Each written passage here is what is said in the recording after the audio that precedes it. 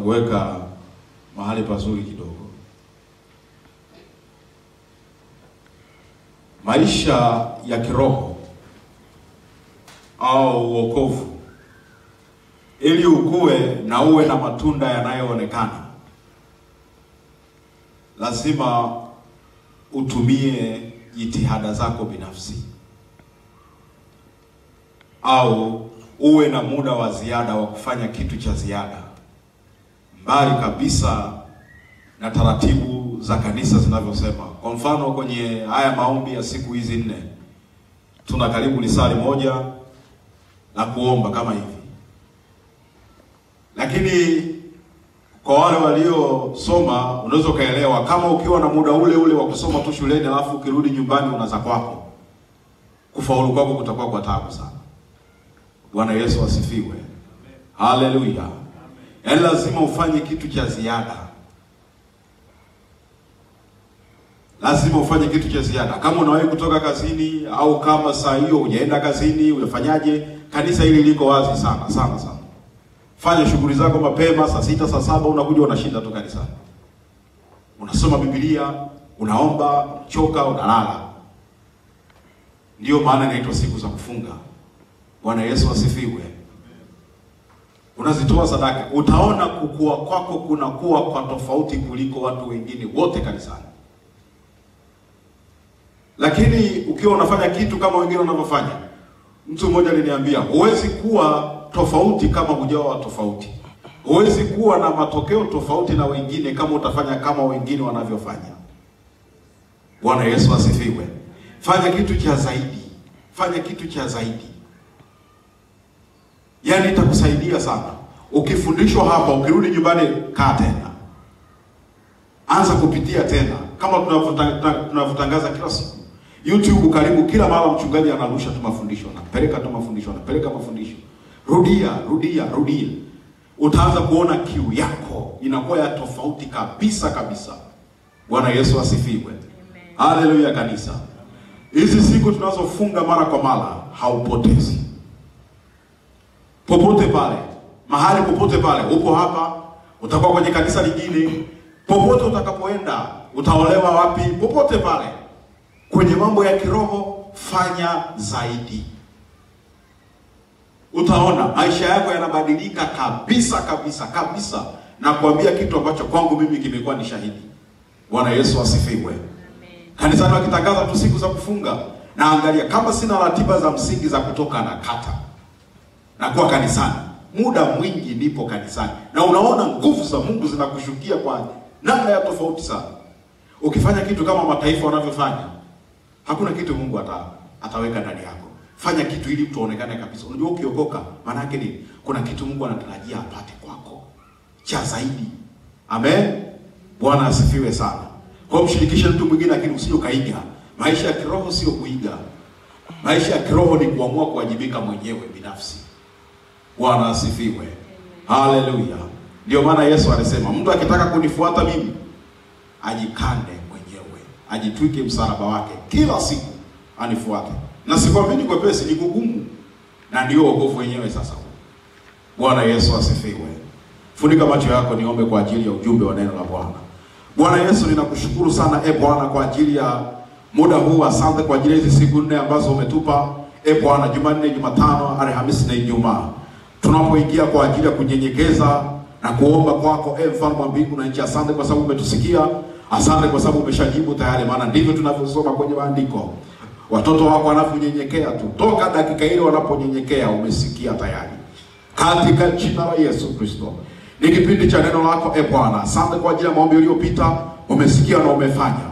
Asante kwa ajili ya dada huyu, asante kwa ajili ya mama huyu, asante e Bwana kwa ajili ya tumishi huyu e Bwana ametoa muda wake kwa ajili ya kuja mahali hapa.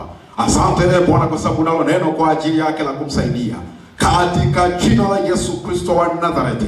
Asante kwa kila anayetusikiliza e Bwana kutoka mahali alipo. Naomba e Bwana mambo haya yakafanyike msaada kwake, maana wewe ni Mungu uliye hai. Katika jina la Yesu Kristo nimeomba na kuamini, na kila mwenye pumzi aseme amen.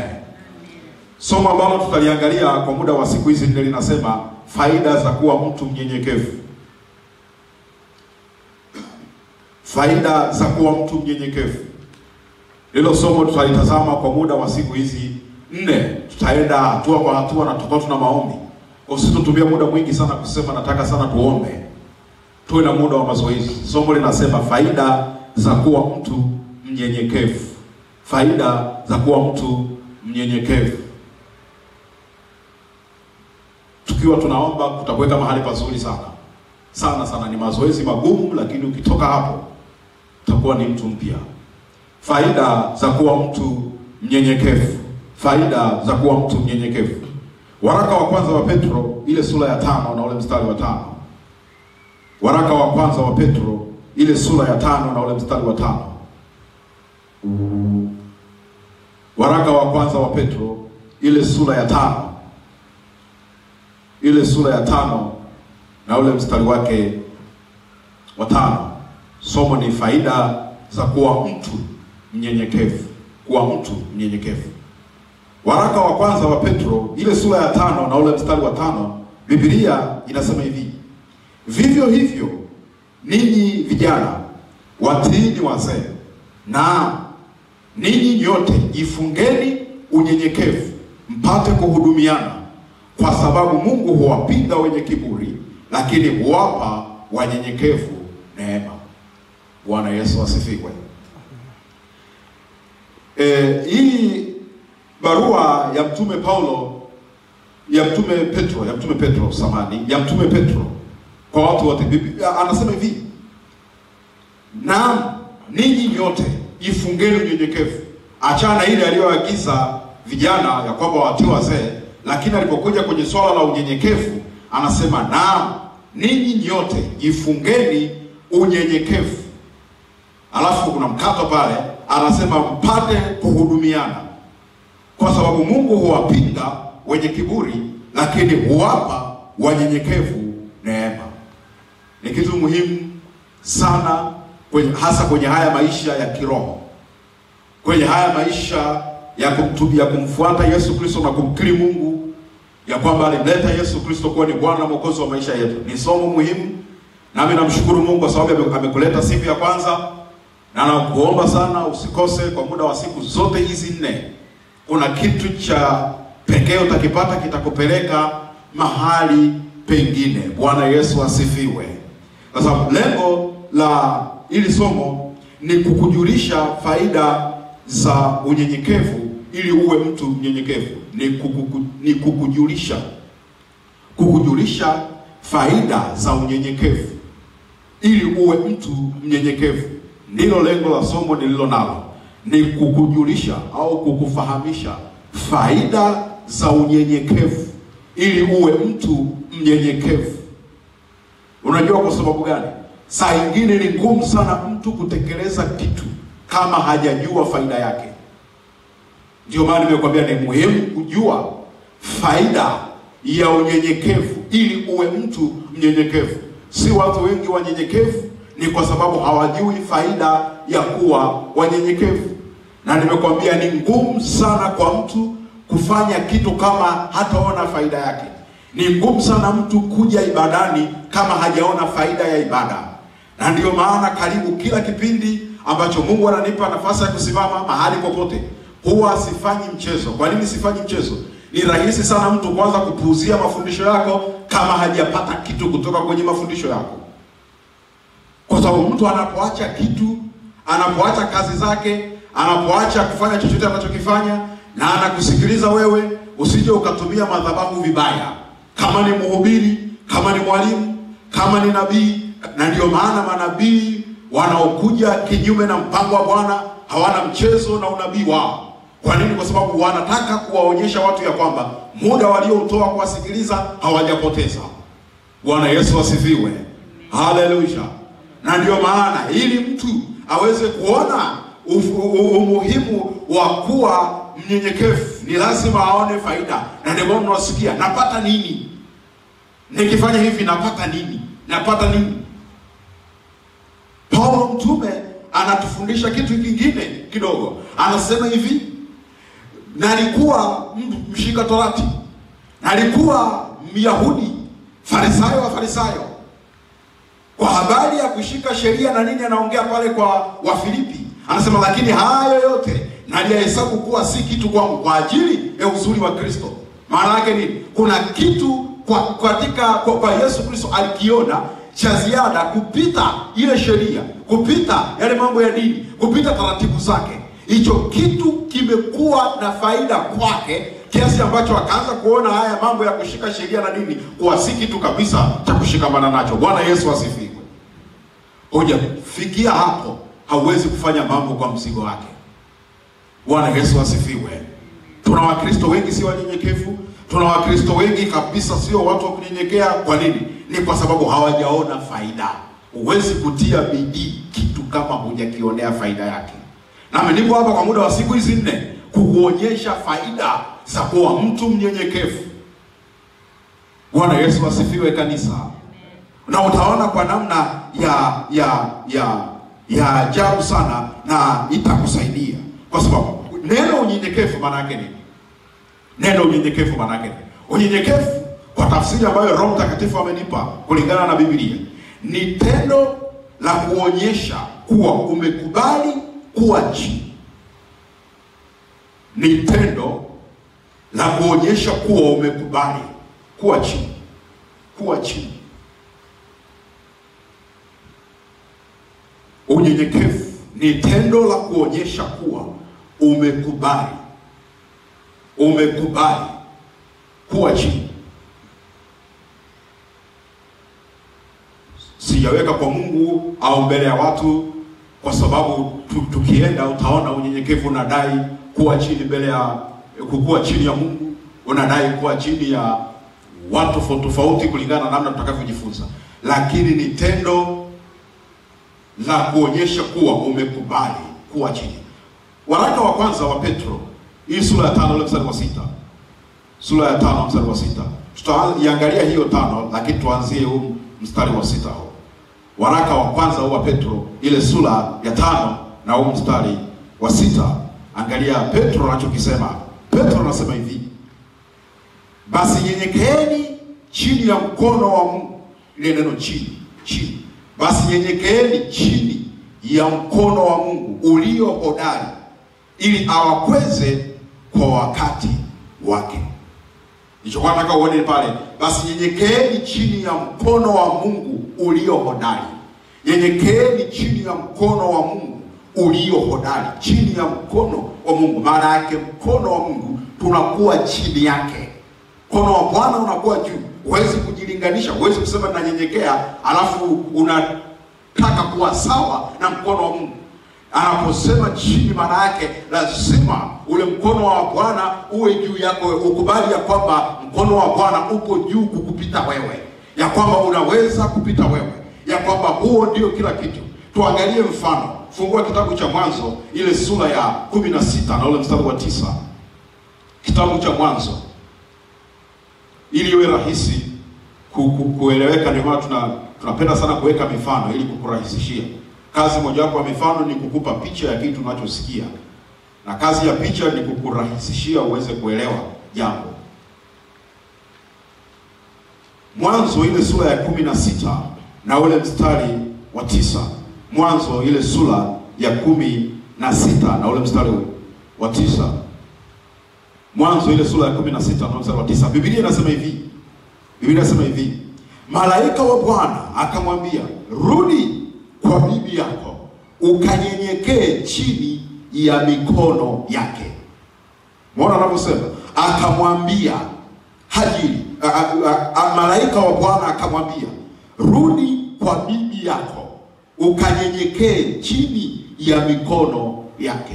Sasa unaweza ukaelewa Hajiri maisha aliyokuwa anaishi. Ni muhimu sana wewe unasoma Biblia mara kwa mara. Kuna vitendo ambavyo alishaanza e, e, al, al, alifanyiwa huyu Hajiri na bibi yake kufukuzwa na nini, lakini alipokuwa na ana, ame, ame, ame, ameondoka malaika wa Bwana akamtokea.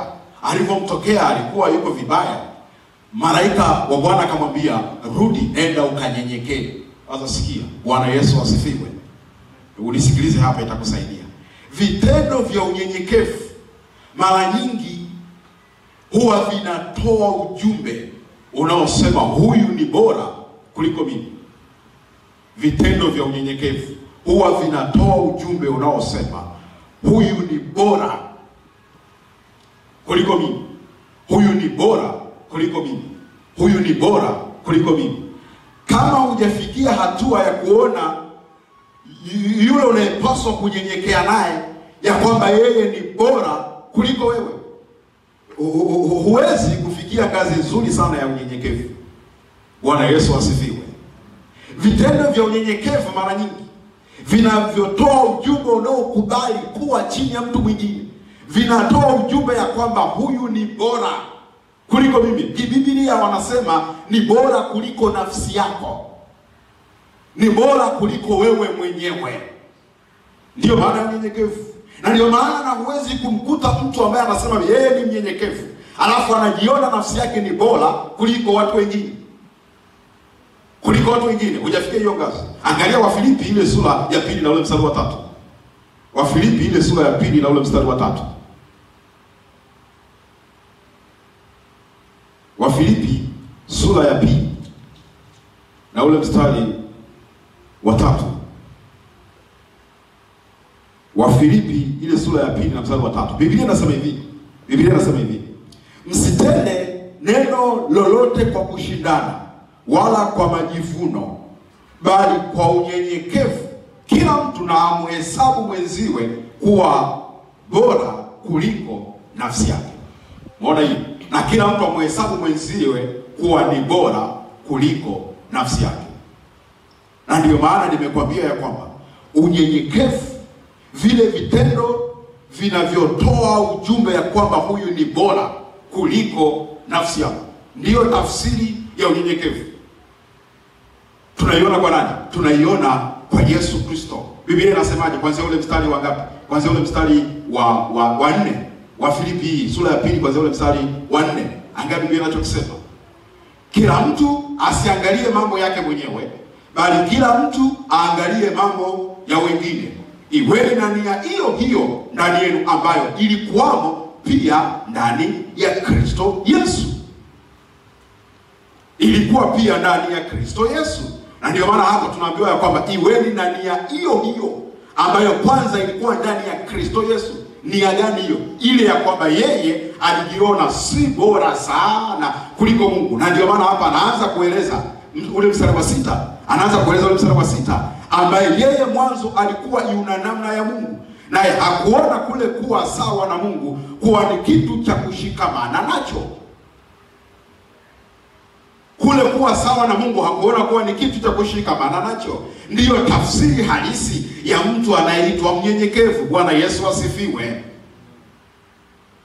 Aliona kuwa kuwa kuwa kuitwa kule kule kuwa sawa na Mungu, akaona kwamba ah, hiki sio kitu cha kuendelea kushikamana nacho, akaachana nacho, akashuka Ukiendelea kusoma hii mistari, Biblia inasema ule mstari wa saba unasema, bali alijifanya kuwa hana utukufu, akatoa namna ya mtumwa, akawa ana mfano wa wanadamu. Tena alipoonekana ana umbo kama mwanadamu, alijinyenyekeza, akawa mtii hata mauti, na mauti ya msalaba. Bwana Yesu asifiwe. Ni somo ambalo litakumulika wewe mwenyewe, afu utajitazama kwamba ulimnyenyekevu au unajifanya mnyenyekevu, kwa sababu kuna watu wengine wanajifanya wanyenyekevu, lakini unyenyekevu hujifanyi. Unyenyekevu ni kitu kipo ndani, hakifichikagi, na unyenyekevu sio wa sio ujiseme. Unyenyekevu unaonwa. Bwana Yesu asifiwe. Na ndiyo maana Biblia hapa kwa kitendo hiki alichokifanya alichokifanya Bwana Yesu watumishi wanamshuhudia ya kwamba ni mtu wa tofauti kidogo. Huo ni mfano wa kwanza wa Bwana Yesu. Mfano wa pili ni wa mtumishi wa Bwana anaitwa Musa. Fungua Kumbukumbu ya Torati, Kumbukumbu ya Torati. Ile sura ya tisa na ule mstari wa kumi na sita. Na kuwekea tu misingi hii siku ya kwanza, ili huko mbele tunakoelekea uweze kujua ni wapi tunaenda. Kumbukumbu ya Torati ile sura ile sura ya tisa. Kumbukumbu ya Torati ile sura ya tisa na ule mstari wa kumi na sita hadi ule mstari wa ishirini na moja Angalia Biblia inachokisema. Biblia inasema hivi, Kumbukumbu ya Torati ile sura ya tisa na ule mstari wa kumi na sita hadi ule mstari wa ishirini na moja Mfano wa pili tunaangalia ni kuona kwamba unyenyekevu unatoa ujumbe kwamba mwenzako ni bora sana kuliko nafsi yako, kuliko nafsi yako. Biblia inasema hivi, nikaangalia na tazama, mlikuwa mmefanya dhambi juu ya Bwana Mungu wenu, mmefanya ndama ya ng'ombe ya kusubu, mmekengeuka upesi katika njia aliyowaamuru Bwana. Nikazishika zile mbao mbili, nikazitupa kutoka katika mikono yangu miwili, nikazivunja mbele ya macho yenu. Nikaanguka nchi mbele za Bwana siku arobaini usiku na mchana, kama pale kwanza sikula chakula wala kunywa maji, kwa sababu ya makosa yenu yote mliyokosa kwa kufanya yaliyo maovu machoni pa Bwana, kwa kumkasirisha. Kwa kuwa niliogopa hasira na makamio aliyowakasirikia Bwana kutaka kuwaangamiza, lakini Bwana alinisikiza wakati huo nao. Bwana akamkasirikia sana Haruni, akataka kumwangamiza. Nikamwombea Haruni naye wakati huo, kisha nikaitoa ile dhambi yenu, huyo ndama mliyemfanya, nikamteketeza kwa moto, nikamponda, nikamsaga tiki tiki, hata akawa laini kama vumbi. Nikalitupa vumbi lake katika kijito kilichoshuka kutoka mlimani. Musa hapa anashuhudia haya mambo yaliyotokea e, e, wakati ameenda mlimani ku, ku, ku, kuchukua maagizo ya Bwana, lakini wana wa Israeli wakaasi. Hiyo tunaipata kwenye ile kitabu cha Kutoka ile sura ya 32, anatoa shuhuda hapa. Sasa ninachotaka upate hapa ni kitu gani? Musa hakufanya kosa lolote. E, e, e, e, Musa hakufanya kosa lililofanana pamoja na hawa wana wa Israeli na Haruni. Bwana Yesu asifiwe.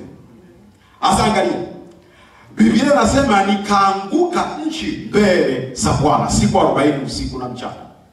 Sikia, kuna mahali Mungu alimpa nafasi ya kwamba niache niwaangamize hawa wote, na wewe nitakufanya kuwa taifa kubwa. Lakini Mungu Musa akakataa, akarudi mbele ya magoti ya Bwana, akaanguka chini kabisa. Sikia, kama sio mnyenyekevu, kwa tafsiri niliyokupa ya kujiona nafsi yako ni bora kuliko wengine, nafasi usingeikataa. Nakueleza ukweli, usingeikataa hata kidogo, lakini si tu kuikataa. Na ungekubali kusema alo, angamiza tu. Kwanza amefanya kosa, lakini Musa a- nitakuonyesha huko mbele ya safari.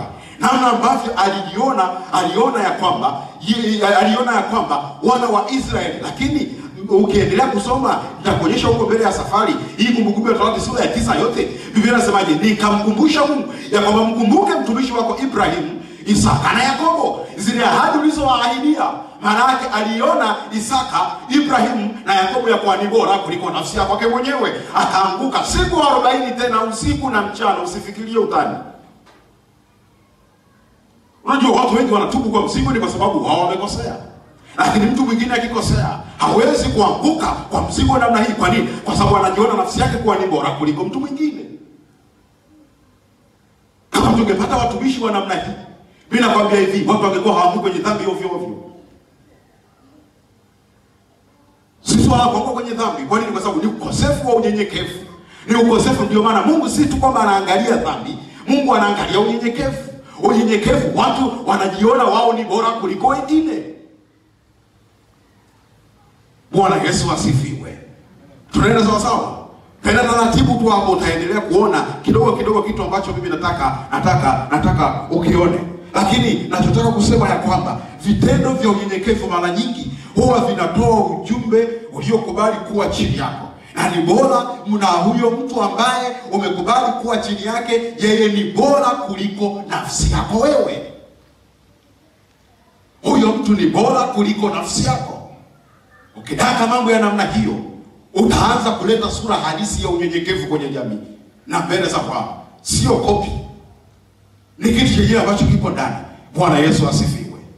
Ngoja nikupe kitu kingine. Vitendo vya unyenyekevu mara nyingi ndivyo vinavyofanya unyenyekevu uonekane mgumu. Hata hapo, vitendo vya unyenyekevu mara nyingi ndivyo vinavyosababisha unyenyekevu uonekane mgumu. Unyenyekevu sio rahisi. unyenyekevu ni mgumu, na mgumu ni kwa sababu unyenyekevu sio kusema, unyenyekevu ni matendo. Vitendo vya unyenyekevu mara nyingi ndivyo vinavyosababisha unyenyekevu uonekane mgumu. Bwana Yesu asifiwe kanisa. Na ndiyo maana watu wengi wenye nafasi tofauti tofauti, hasa hasa hawa watu wenye sifa, viongozi viongozi kanisani, serikalini, eh, popote pale kwenye familia, swala la unyenyekevu linakuwa gumu kwao kwa sababu ya vile vitendo vyake. Watu wengi wana wana wanaangushwa na Mungu. Ndio maana ukiwa sio mnyenyekevu, moja kwa moja anayekuangusha sio sio shetani, ni Mungu mwenyewe. Ili kukuangusha Mungu hatahitaji msaada wa shetani, ni yeye mwenyewe. Bwana Yesu asifiwe. Watu wengi hawataki kwa sababu vitendo vyake mara nyingi ni vigumu.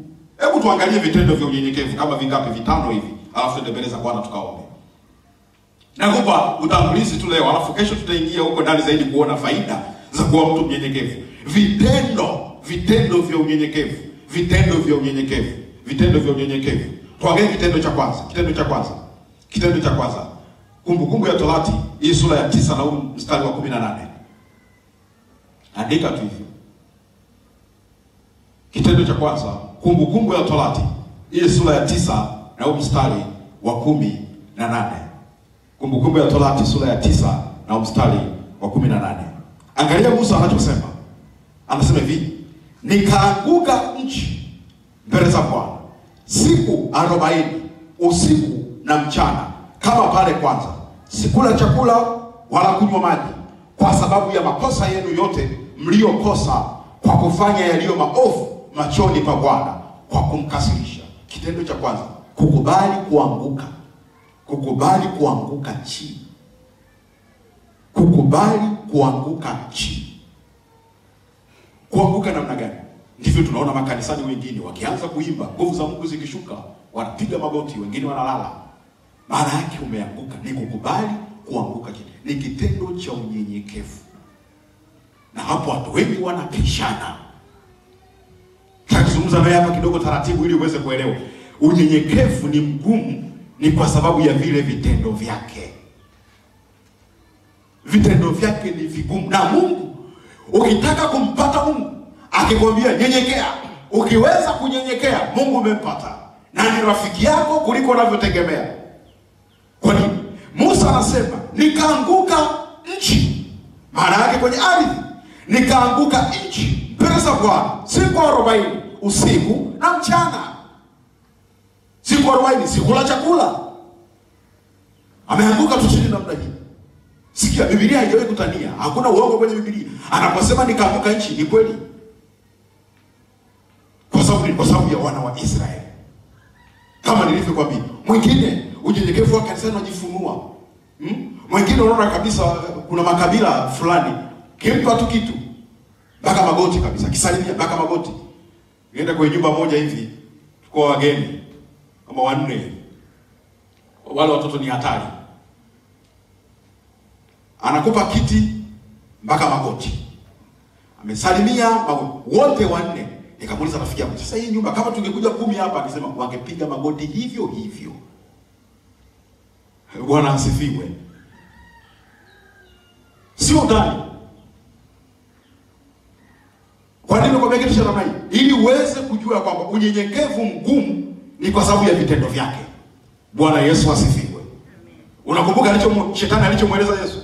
Akasema angalia, miliki zote hizi, ukisoma ile Mathayo sura nne, miliki zote hizi, enzi yote hii nimekabidhiwa mimi.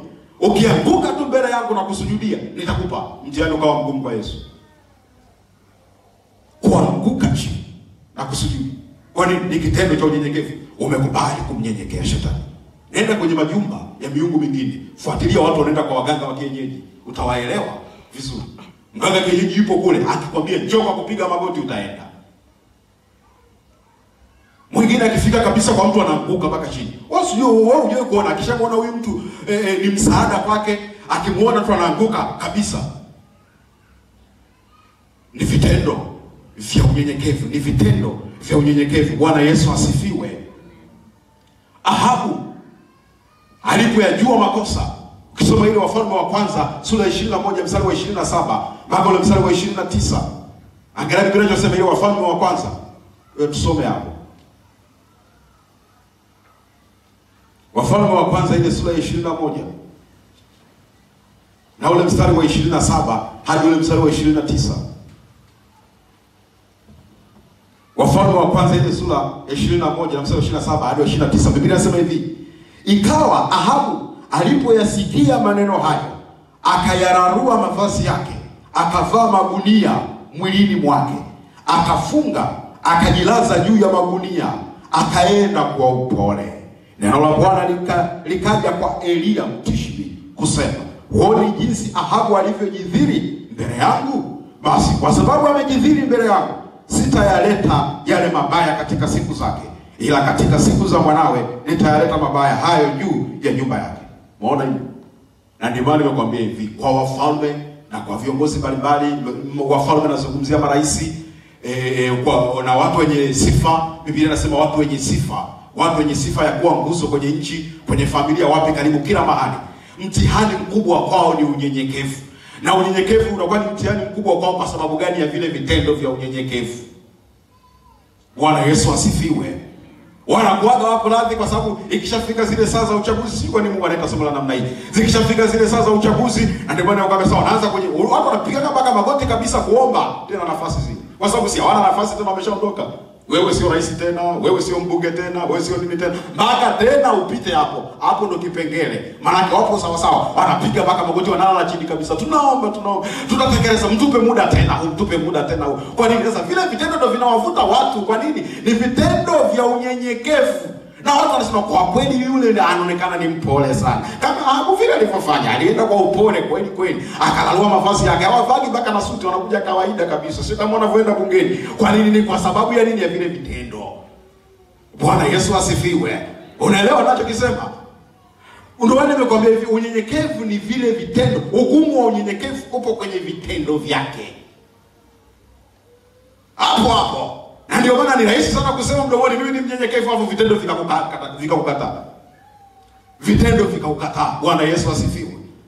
Ukisoma habari za za za, za Yona mfalme wa Ninawi, habari ilipomfikia ile Yona sura Yona ile sura ya tatu, Yona sura ya tatu na ule mstari wa tano mpaka wa, wa sita. Hebu tusome, ngoja tusome kwa sababu huko mbele ya safari pengine hatutaweza kusoma.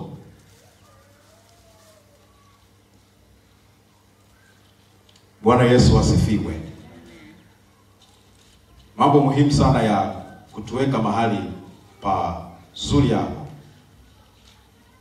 tuweka mahali pazuri ili tuone tunako tunako tunako tunakoelekea. Bwana Yesu asifiwe. Kitabu cha Yona ile sura ya ya ya tatu, Yona ile sura ya tatu na ule mstari na ule mstari na ule mstari watano inanichelewesha hiyo. lakini nachotaka uone hapo ni kitu gani? Nachotaka uone ni mfalme wa wa wa wa Ninawi, mfalme wa Ninawi. Kasome habari zake uone yule mfalme. Ile habari ilipomfikia, maandiko yanasemaje? Akavaa mavazi ya magunia, nguo za magunia akashuka kabisa kwenye kiti, mambo ya ufalme ufalme wake akayaacha, akajipaka mpaka na majivu, wakaanza kuomboleza. Biblia inasemaje? Mungu alipoona alipoona kilichotokea akagairi yale mabaya.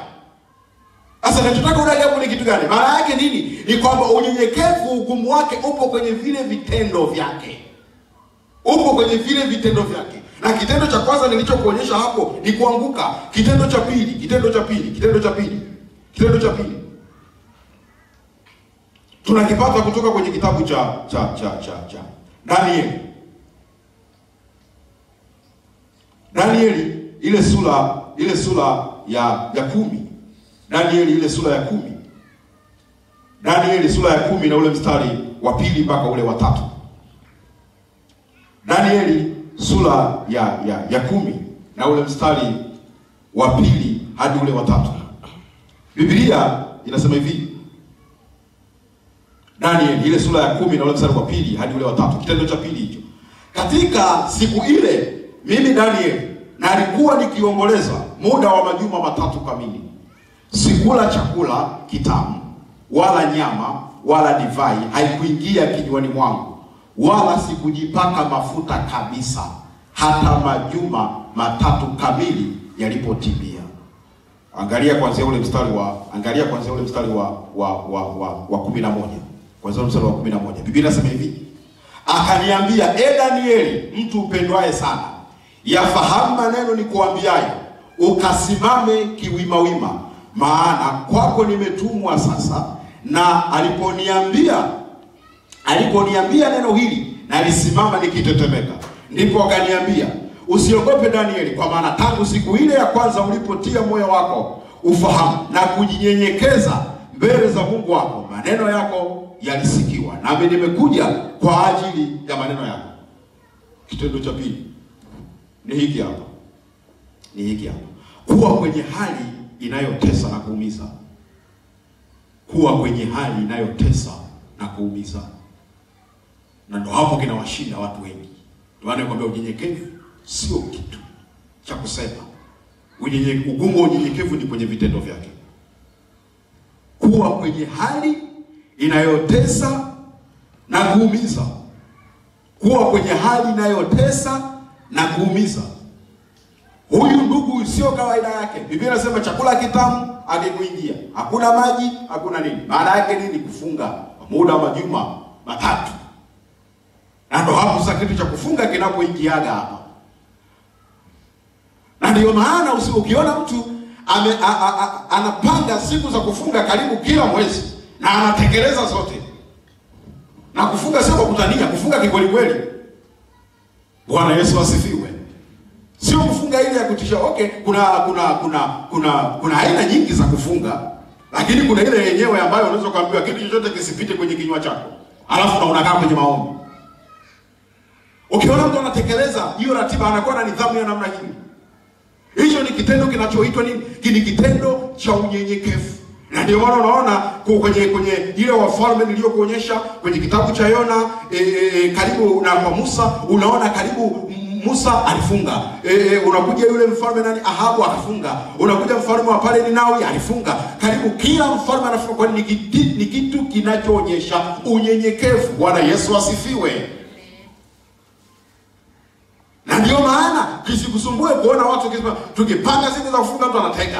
Kwa nini? Kwa sababu kunyenyekea ni kuwa kwenye hali inayotesa na kuumiza. Hata mwingine inaumiza sana, lakini ndio unyenyekevu. Inatesa, ndio unyenyekevu. Sio kwamba chakula huna, usifunge kwa sababu huna chakula. Hiyo sio kufunga. Hmm? Kwa sababu wengine wakishaona kwenye hili wiki kuna ratiba mbaya mbaya ya chakula, anapanga muda wa kufunga huu, sijui uko nyumbani, uko wapi. Ukishaanza kuona tu wiki hili naona kama kuna ya majani mengi sana, nyama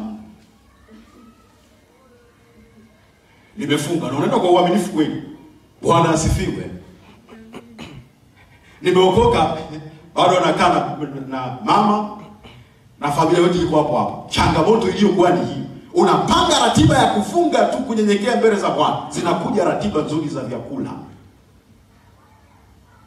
Sasa unajua mtoto wa kwanza, wakati mwingine umetoka tu kwenye shughuli zako huko, unarudi unakuta chakula kimekaa mezani pale, chakula kizuri, kina harufu nzuri, umetengewa hapo mezani, harufu inakuja kabisa. Wako anasema ise, unajua ile ukishafunga umetoka zako saa nane saa tisa ile ndio yenyewe wenyewe imekamatia pale pale, unasikia harufu, unaweza ukagairi. Kuna siku kidogo niseme hii sio funga ya Bwana. Bwana Yesu asifiwe. Sikwambii kitu utani, usije ukafunga eti kwa sababu mfukoni huna hela. Kuna muda wa kufunga ukifika, hawa wafalme wana. Ndio maana nimekwambia kwa viongozi kunyenyekea ni kugumu. Kwa sababu gani? Hali walizo nazo hazitaki kunyenyekea. Kugumu kubwa kwenye vitendo. Mtu ambaye unaona kabisa, kuna wakina Danieli walikuwa na nafasi nzuri nzuri kweli kweli karibu katika kila ufalme unaoingia Danieli ana nafasi nzuri, lakini maandiko yanasema alipopata kufahamu akaanza kujizuia. Eh, wanapewa nafasi ya kusoma, anasema tupeni na mtama tu ndo tule hapo hapo. Wananyenyekea mbele za mbele za Bwana, hawani vyakula vitamu, sio kwa sababu ha, ha, hawana, wanavyo. Hmm? Hawafanyi vitu vya ndani sio kwa sababu kwamba hawana, wanavyo, lakini unyenyekevu mbele za Bwana, unakuwa kwenye hali inayotesa na kuumiza, ndio tafsiri ya unyenyekevu. Bwana Yesu asifiwe. Kuna mtu anakwepa Somalia na afahamu. Tukisikia saa hiyo oh, hapa kuna sherehe ya kanisa, mtu ambaye aliasi kabisa na Jumapili nne tano hajaja kanisani, siku hiyo anakuja. Bwana Yesu asifiwe. Mm, Hiyo sio hiyo sio mnyenyekevu, kakuwa katika hali hiyo hiyo, na ndio maana Mungu anawapenda watu wa namna hiyo. Kwa sababu gani? Katika kila hali. Bwana Yesu mwenyewe anasemaje? Ukisoma kwenye maandiko anasema, ninyi ninyi mliowekewa ufalme Kateni keketini hapa mezani mwangu mpate kula na kunywa, mlidumu pamoja nami katika majaribu. Unajua raha mojawapo ya ku, ya, ku, ya kuwa sawasawa na wachungaji wanapopita kwenye mazingira magumu, unakumbukwa saa Mungu akishaweka mahali pa juu. Usije ukamkwepa mchungaji wakati wa shida, alafu wakati wa raha ujitokeze. Mm -mm, hakukumbuki. Kwa nini? Kwa sababu ndani yako sio unyenyekevu. Hicho ni kitendo, hicho ni kitendo cha pili nilichokupa, ni kuwa kwenye hali inayotesa na kuumiza. Hmm? Hapo ndo wengine unaweza kukuta kabisa saa ya kufunga. Sasa hapo inaweza ikawa rahisi kuelewa. Unaona mchungaji anaacha kitanda chake kwenye ile mwaka jana. Unaweza kaona sasa anakuja na lala hapa. Hata madisha hamna.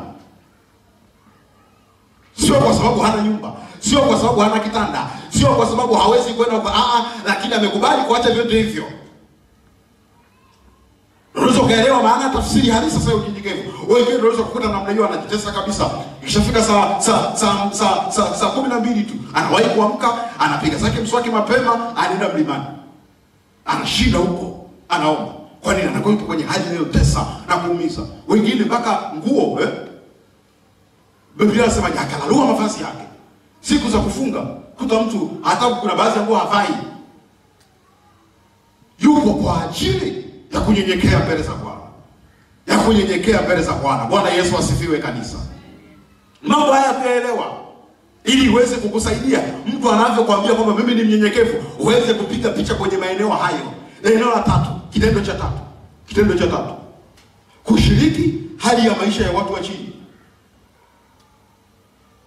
kushiriki hali ya maisha ya watu wa chini. Kushiriki hali ya maisha ya watu wa chini.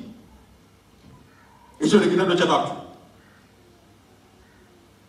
kushiriki hali ya maisha ya watu wa chini. Kushiriki hali ya maisha ya watu wa chini. Unisikilize, hakuna kitu kigumu kama wewe kutokuwa na sababu yoyote ya kushiriki hali ya maisha ya watu wa chini, halafu ukashiriki. Hakuna kitu kigumu cha namna hii.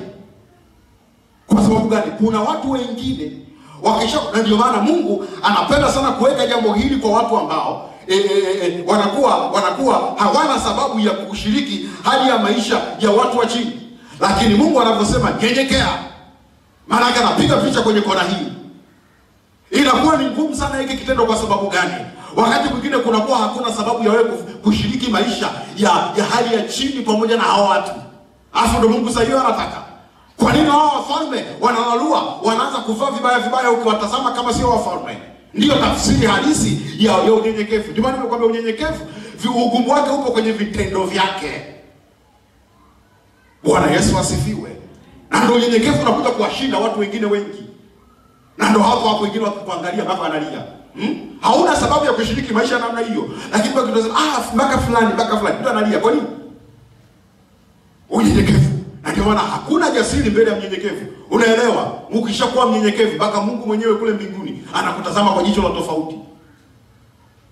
Haleluya, Bwana Yesu asifiwe. Sikia, nani umekuwa uchumi wako umefikia level sijui milioni kumi, milioni ishirini, milioni hamsini, milioni mia, kwa kadiri ya hali ya uchumi wako ilivyo, lakini bado unaendelea kushiriki hali ya maisha ya watu wa kawaida, kama una hela vile kama una nafasi hivi, na ndio unapiga picha kwa viongozi tofauti tofauti, unaona wapo. Na ndio maana nakwambia unyenyekevu, ugumu wake upo kwenye vitendo vyake, na huko tu utangulizi siku ya leo, ili tunapoenda huko mbele uweze kuelewa na uweze kujiombea ipasavyo kwenye hii kona ya unyenyekevu. Bwana Yesu asifiwe, kanisa, kwa sababu si swala kusema tu ya kwamba oh, mimi oh, mimi mnyenyekevu oh, mimi mnyenyekevu. Okay, hatuwezi kukataa, inawezekana ni kweli mnyenyekevu, lakini ni muhimu sana uweze kutazama, na zipo na vipo vitendo vingi tu ndani ya Biblia, vipo vitendo vingi tu ndani ya Biblia. Bwana Yesu asifiwe, haleluya. Unaitazama kanisa lilivyo, ona hii kanisa hili hapa hili, hakuna hata mtu mmoja anayevaa nguo ya elfu hamsini elfu sitini hapa hmm? Ukitazama kuanzia chini mpaka juu, hata elfu ishirini haifiki. Ngoja sasa, kija kuna tandika, rafiki yangu, hatari sana tandika, afu unataka uone, unataka unaonekana onekana, mimi nakwambia hmm? Hujui kuzoea hata usafi, wewe kila siku unataka uwe mbele tu, fanya hivi. ili nini? Uwe tu uonekane tu, uonekane tu, ili bado uonekane. Bwana Yesu asifiwe na unafanya hivyo makusudi kabisa. Ha? Si, si, si, sipo kinyume na kuvaa nguo safi, kwa sababu Biblia yenyewe imeandika kijana uwe kielelezo, usafi, mwenendo na usemi na nini, lakini ninachotafuta nini ndani ya moyo wa mtu. Kuna wengine wanafanya makusudi kabisa. Tunaenda sawa sawa? Bwana Yesu asifiwe. Kushiriki hali ya maisha ya watu wa chini Napotaka kuangalia hotuba za marais mbalimbali duniani, kuna marais wa nchi zingine siwezi kuwasema, lakini ukiangalia na hutubia jukwani utafikiri sio rais, ukiangalia kuanzia juu mpaka chini. Lakini kuna kitu kimoja tu wanasema, kuwa hivi hainibadilishi kuwa rahisi. Bwana Yesu asifiwe. Wengine wakipewa tu nafasi, ndio maana Mungu anawaangalia watu Unaweza ukaomba kuanzia asubuhi mpaka jioni, Mungu nipeleke ngazi fulani, Mungu nipeleke ngazi fulani. Ndugu, kama kitu cha unyenyekevu hakipo, kama Mungu anaona huyu hawezi kushiriki hali ya maisha ya watu wa chini, nikimpa tu huyu nimempoteza. Bwana Yesu asifiwe. Na ndio hapo ikiwa unakuta unaanza kutukana eh? Bwana Yesu asifiwe sana. Mwingine akishakuwa namna hiyo, rafiki yangu akishapata elfu mbili elfu ngapi, anachezea tu vibaya, na na ndio vitu vya nasa vinaanzia hapo hapo. Kuna baadhi ya vyakula haanzi kula kabisa, anachana navyo. Nisikae sana hilo eneo, lakini nilichokuwa nataka ni uelewe ni kwamba kushiriki hali ya maisha ya watu wengine, na ndio maana nakupa kitu cha namna hii. Kwa sababu gani? Wakina Danieli walipoacha kabisa kula nini? Wakina Danieli walipoacha kabisa kula vitu vitamu walikuwa na maana moja kubwa sana kuliko wanavyotegemea. Walipovaa magunia walikuwa na maana kubwa sana ya kwamba Mungu, Mungu sisi si kitu kwako. Vitendo vyake ndivyo vigumu. Kitendo cha nne, kitendo cha nne, kitendo cha nne, kukosa maneno kwenye kinywa chako yanayofahamisha kwa makusudi kabisa uwezo ulio nao.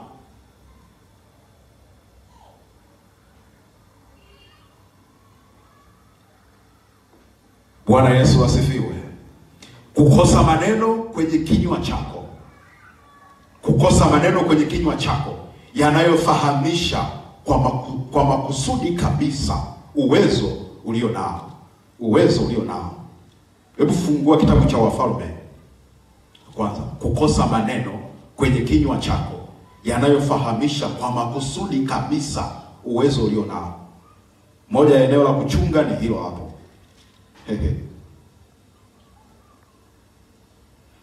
Wafalme wa kwanza ile sura ya kumi na tisa na ule mstari wa nne. Nataka tutazame ili kwa sura nyingine. Watu wanasomaga kwa sura tofauti, lakini leo nataka tulione kwa sura ya tofauti tena. Wafalme wa kwanza ile sura ya kumi na tisa na ule mstari wa nne. Biblia inasema hivi. Hizi ni habari za Elia. Wafalme wa kwanza ile sura ya kumi na mstari wa 4. Biblia inasema, lakini yeye mwenyewe akaendelea katika jangwa mwendo wa siku moja, akaenda akaketi chini ya mretemu, akajiombea roho yake afe akasema yatosha sasa, e Bwana, uiondoe uiondoe roho yangu, kwa kuwa mimi si mwema kuliko baba zangu. Hebu sema mimi si mwema, mimi si mwema. Bwana asifiwe. Anasema kwa kuwa mimi si mwema kuliko baba zangu. Mimi si. Angalia hapo mambo alitoka kuyafanya. Moto ulishuka kutoka mbinguni ukadhamba ile madhabahu, kila kitu ulipiga, na ndio pale pale watu wasemaga wawasamu yuko wapi Mungu wa Elia? Mungu wa Elia, Mungu wa Elia. Tangu saa hiyo hiyo mpaka kwenye magari unakuta yameandikwa namna hiyo, moto wa Elia, moto wa Elia. Jambo likampa sifa kati ya watumishi ambao walionekana wana upako tofauti ni Elia, lakini hiki kitendo hiki akalala chini akajiombea nafsi yake afe. akasema mimi si mwema kuliko baba zangu. Sikia, bila kufanya hili tendo, mimi nakwambia hivi, Elia angeota kiburi kuliko unavyotegemea. Upako wa namna yake ulikuwa hakuna. Kukosa maneno yanayojulisha, kukosa maneno kwenye kinywa chako yanayofahamisha kwa makusudi kabisa uwezo ulio nao.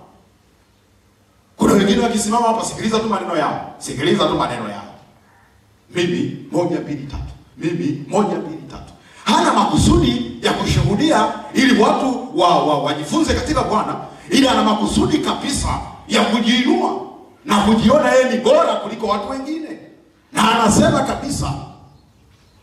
Bwana Yesu asifiwe. Kanisa ni maeneo ambayo natakiwa kuwa nayo makini sana, kwa sababu ni maneno ambayo ni maneno ambayo yanakaa kwenye kinywa chako. Sasa sikia, hicho ni kitendo kimoja muhimu, kwa sababu ile kukosa maneno, kuna watu wengine kwa kweli, yaani mtu mpaka ajitambulishe ndio utajua ha, huyu amesoma namna hii. Mpaka mtu ndio utajua aise, huyu ana uwezo wa namna hii. Lakini bila kujitambulisha, husikii hata kidogo ile neno hilo, kwani hayapo, hayapo hayo maneno kwenye kinywa chake. Ndiyo maana ya kitu kinaitwa unyenyekevu, kukosa maneno, kukosa maneno kwenye kinywa chako yanayofahamisha kwa makusudi kabisa uwezo ulionao. Kuna watu wengine wanatamka maneno kwa makusudi kabisa, mimi moja mbili tatu, mimi moja mbili tatu, mimi moja mbili tatu. Mm -mm, sio unyenyekevu. Ndio maana nimekwambia unyenyekevu, ugumu wake upo kwenye vitendo vyake. Bwana Yesu asifiwe. Nikupe maana ya tano, tumalize maana ya tano. Eh, kitendo cha tano, kitendo cha tano Kitendo cha tano, kitendo cha tano, kuwaombea wengine kwa mzigo, kuwaombea wengine kwa mzigo, hasa wanapokosea. Kuwaombea wengine kwa mzigo, hasa wanapokosea. Nataka kwa dakika hii tu- tu- tuende mbele za Bwana tukaombe. Kuwaombea wengine kwa mzigo, hicho ni kitendo cha tano. Kumbukumbu ya Torati ile sura ya ile sura ya kumi na tisa ile niliyokupa, sura ya tisa, sura ya tisa na ule mstari wa kumi na nane Kumbukumbu ya Torati ile sura ile sura ya tisa na ule mstari wa kumi na nane Biblia inasema hivi. Kumbukumbu ya Torati ile sura ya tisa mstari wa kumi na nane Biblia inasema nikaanguka nchi mbele ya Bwana siku arobaini usiku na mchana, kama pale kwanza sikula chakula wala kunywa maji, kwa sababu ya makosa yenu yote mliyokosa kwa kufanya yaliyo maovu machoni pa Bwana, kwa kumkasirisha. Kuwaombea wengine kwa mzigo, sio kwa kurashiarashia, kwa mzigo. Angalia Musa anasemaje, siku arobaini. Kumbuka tulikotoka, alipewa nafasi ya kwamba yeye ndo atakuwa taifa kubwa, takuonyesha siku ya kesho na kuendelea. Alipewa nafasi ya yeye kuwa taifa kubwa, lakini akagoma na akarudi tena siku ingine arobaini tena. Ile ya kwanza kama ilifutwa, ikaja ingine ya pili tena. Hali chakula wala kunywa maji kwa watu wengine. Kuwaombea wengine kwa mzigo ni kitendo kimoja cha unyenyekevu, na ndio watu wengi wanainuliwaga hapo hapo. Kwa sababu gani? Ukiona mpaka ndani ya moyo wako unaanza kuona kosa alilofanya mwenzako kama ni baya. Sasa lazima niombe mbele za Bwana kwa mzigo, wala sio kwa kurashia rashia. Naomba kama ule mzigo ni wa kwangu. Biblia inasemaje? Sisi tuliona nguvu imetupasa kuchukua udhaifu wao wasiona nguvu. Lakini pia Paulo mtume mwenyewe amesema ya kwamba ya kwamba tuanga tu, tu, tu, tu, tusio watu wa kuangalia mambo yetu wenyewe, utuangalie na mambo ya wengine yalivyo, tubebeane mizigo kwa sura hiyo. Wenzetu wanavyokosea, tunaona siku hizi wanaasi kanisani, mtu anajisikia uvivu tu akuja kanisani, sio kwamba ana sababu ya msingi. Amenaswa kule nyumbani, amekosea amefuata mambo mengine kanisani. Kila siku tumebaki ni watu wale wale eh, ni wa, wa, ku- kuna uh, maneno mengine nasemaga Wakristo hai. Una Wakristo hai wangapi? Okay, maanake wengine wamekufa. Kama wamekufa, unachukua hatua ipi? Kama Musa, kama mtumishi wa Bwana, picha mojawapo aliyo nayo ni ya unyenyekevu, anaanguka chini siku arobaini kama amefanya, amefanya kosa yeye. Mungu Mungu nakusihi, anasemaje? Na kosa la Haruni ameruhusu kuile ndama itengenezwe na watu wakaanza kuabudu, akarudi mbele za Bwana kwa ajili ya kuomba rehema. Alitubu na kutubu na kutubu na kutubu, sio natubu utani utani, anatubu kama amekosea yeye. Mungu rehemu, watu wako wameasi, Mungu rehemu, mme wangu ameasi, Mungu rehemu, mdogo wangu haji kanisani, amekosea. Mungu naomba rehemu familia yangu, mimi tu peke yangu ndo naenda kanisani, wanangu siwaoni. Mungu rehemu, wamekosea, ni waasherati, Wakristo wangu kwa kweli. Sasa hivi hawana hata mzigo wa kwao. Mungu rehemu kosa la Mungu rehemu uovu wao kaa kwenye toba namna hiyo kama ni wewe ndio umefanya. Unaanguka chini na kunyenyekea. Unapiga magoti na kulala. Ujihesabu nafsi yako kuwa ni bora kuliko haa. bibilia imeandika kitu cha namna gani? Ndivyo vitendo vya unyenyekevu vya namna hiyo. Haujionyeshi ya kwamba hao ni watenda dhambi tu ndio maana kanisani hawaji. Unyenyekevu haudai kitu cha namna hiyo. La sivyo musa angeamuru tu wale lile taifa lote liangamizwe. Eliya akasema mimi si bora kuliko baba zangu. Pamoja na mambo yote aliyoyatenda lakini akasema mimi si bora kuliko baba zangu. Mimi si bora kuliko baba zangu. Mimi si bora kuliko baba zangu. Alinyenyekea namna hiyo. Alinyenyekea namna hiyo. Na kuonyesha mambo ya namna hili uweze kuelewa mtumishi wa bwana. Tunashiriki hali za maisha ya watu wengine. Biblia imesema lieni nao wanaolia. Lazima tujue ni watu wanapitia. Ndio maana ndio tafsiri ya unyenyekevu. Vitendo vyake ni vigumu lakini ndio maana unyenyekevu ni mgumu. Hakuna namna mungu ataacha kuwapa neema wanaonyenyekea na kuwapinga wenye kiburi kwa sababu ya vitendo vyake. Vitano nilivyokupa ni vigumu. Ndio maana mungu anawapa neema wanyenyekevu. Kwa sababu kwa kweli hakuna namna mungu atasema huyu hastahili. Bwana yesu asifiwe. Lazima turudi mbele za bwana kama kanisa. Tusicheke tu tusicheke tu tunapoona hali ya uovu na kwamba sisi tunachekelea. Hali imekwaje kwaje sisi tunachekelea? Lazima turudi mbele za bwana tutasimini. Tulikuwa na waimbaji wa sasa hivi hawaonekani. Tulikuwa na mzee wa kanisa huyu sasa hivi haonekani. Amefanyaje tusiwa tukimbilie kuwatupilia ya kwamba wamekosea? Ah, ah. lazima tuchukue tabia ya musa akanyenyekea kwa ajili ya dhambi yao. Tukiomba toba hapa mimi nakwambia hivi mungu anaachilia roho ya toba kule. Wana wa israeli kasome ile kutoka thelathini na mbili uone jinsi kilivyotokea musa alivyoingia kwenye toba kikwelikweli ona kilichofanyika. Wana wa israeli wakavua vyombo vyao vya uzuri. Mambo yakaenda. Yani kwa namna ambavyo wakasema "Ah, hatuwezi kwenda kwa namna hii. Hizi ni habari mbaya. Wanao pia watastuka. Zamani nilikuwa naenda kanisani. Mbona sasa hivi siendi? Zamani nilikuwa mwimbaji mzuri. Mbona sasa hivi siimbi? Oh nilikuwa namna hii. Wakaanza kujitathmini wenyewe. Kwa nini? Kwa sababu kuna mtu amenyenyekea kwa ajili yao. Nami nikatafuta mtu miongoni mwao. Atakayesimama. Anasimamaje? Kama kuona mtu mnyenyekevu? Kanisa litabaki hivyo hivyo. Kwa nini? Hayupo mnyenyekevu hayupo. Bwana yesu asifiwe. Lazima tupate watu wa namna hiyo. Simama kwa miguu yako. Hebu naomba tuimbe kwa dakika chache alafu tuende mbele za bwana tukaombe. Nataka tupate watu wanyenyekevu. Bwana amekutolea hizi siku nne zitumie kikamilifu. Utaendelea kuona huko mbele ya safari. Usije ukatega. Kwa sababu nimekwambia ya kwamba unyenyekevu ni kitendo kinachoumiza na kutesa. Lakini ndio tafsiri halisi ya unyenyekevu. Kuacha kula sio kwamba chakula hauna unacho. Kuacha kunywa juisi sio kwamba hauna unayo. Mandarabo sandarabo shaka.